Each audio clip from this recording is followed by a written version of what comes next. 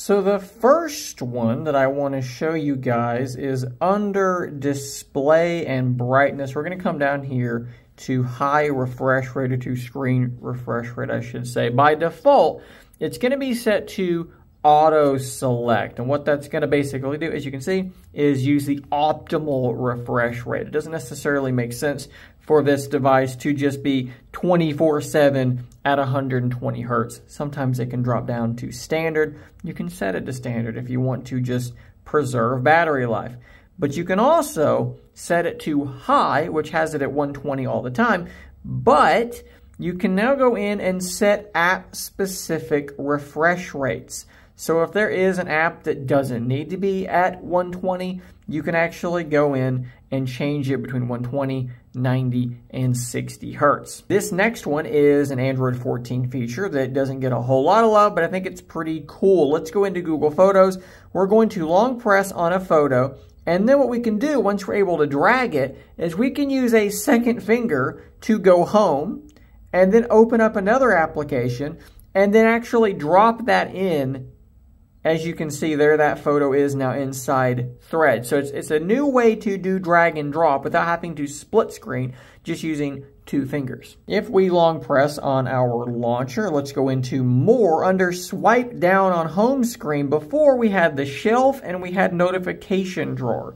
Now we have the option for a global search, which I quite like. It takes me back to the universal search days of the Palm Pre or even using Evie Launcher more recently than that. I'm a big fan of that. I know some people like to have it be the notification drawer. I like Universal Search a lot, so that is a cool one. Health Connect is now actually integrated with the system. As you can see, it stores your health and fitness data, giving you a simple way to sync the different apps on your phone. It's super frustrating sometimes to have all these different like health tracking things. This kind of brings them all together.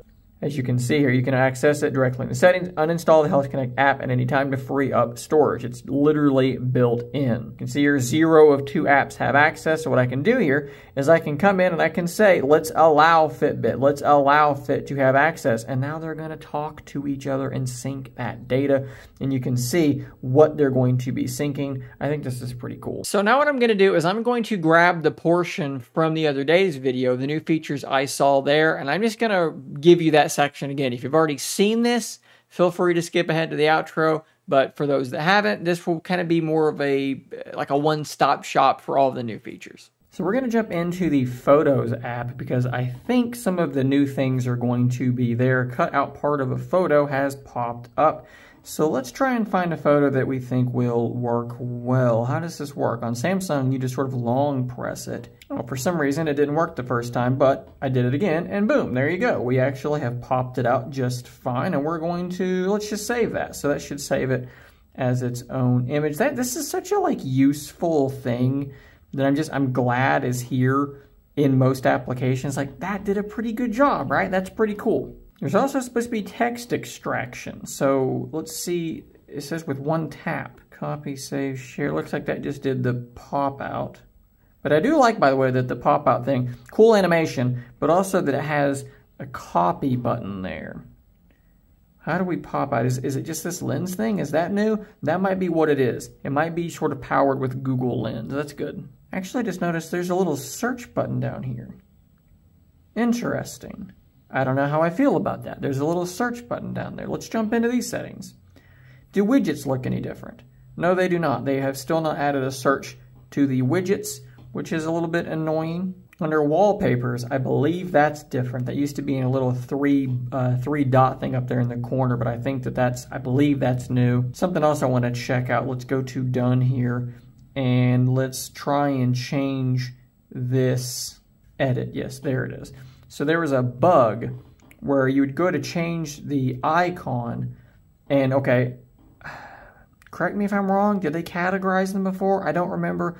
But the bug was that if you kept scrolling long enough, it would just glitch out and it would stop loading new icons. And that bug is still present. So that's a bummer. Apparently there is a new always on display thing that's supposed to be talking about like carbon footprint or something. There, there it is, carbon footprints. What does this do? So I guess it's supposed to show like how much walking you're doing, and by virtue of that, it's going to give you like a little carbon footprint thing. I'm not really sure who this is for. So something else that I don't think was here by default, they've added to the end here because I think I only had one page, was link to Windows. I think that is now a system application. So I've got Phone Link set up here, and basically what this does is it allows you to access your phone from your computer. So you can actually clear your notifications and obviously see your notifications as well from your,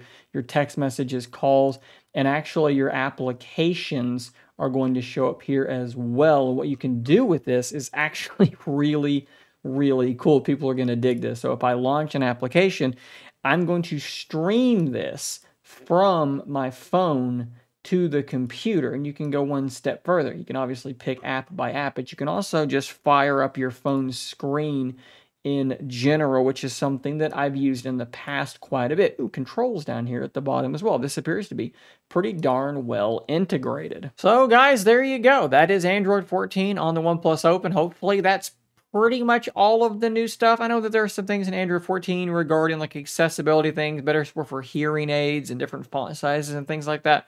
I'm not going to dig too deep into those, but by and large, I think those are most of the big features. You can decide for yourself if you should continue being excited, waiting and waiting and waiting for OnePlus to deliver it, or not based on that. And if you want to see the full procedure of how I got here, that video again is linked in the description down below. Guys, thanks for watching. Subscribe for more content just like this. And until next time, stay nerdy, my friends.